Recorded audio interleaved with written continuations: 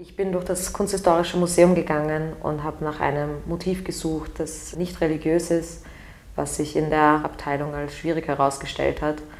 Aber mir ist das Bild von Hans Baldung, die drei Lebensalter und der Tod, sofort ins Auge gestochen, wegen der Darstellung des Todes als Skelett. Leben und Tod, sind zwei Pole. Und die Menschen sind einerseits durch den medizinisch-technologischen Fortschritt mittlerweile sehr verwöhnt, sie werden immer älter Medien suggerieren wiederum was völlig anderes. Tod, Terror, herabfallende Kokosnüsse, alles ist irgendwie ums Eck.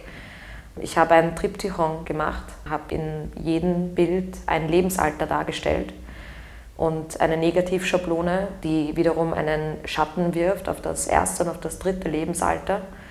Das erste Lebensalter zeigt ein Kind, ein unschuldiges Kind, das sich noch keiner Gefahren bewusst ist, das unbekümmert ist, und der Schatten, den die Negativschablone wirft, der zeigt eine Entwicklung hin zum zweiten Lebensalter, aber auch prinzipiell zeigt es eben, wie das Kind sich einfach aus dieser hockenden Pose erst in die aufrechte Position bringen muss.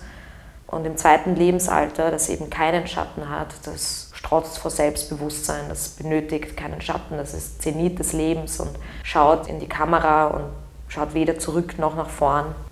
Beim dritten Lebensalter hat man schon eine, eine gebrechlichere Pose und der Schatten, der zeigt wiederum eine Entwicklung hin zum Tod, also eine Bewegung hin ins Unbekannte. Und ja, ich hatte schon immer ein Interesse an Wachstum, Entwicklung, Dialektik, Kausalität und versuche das in meiner Arbeit mit einzuwirken.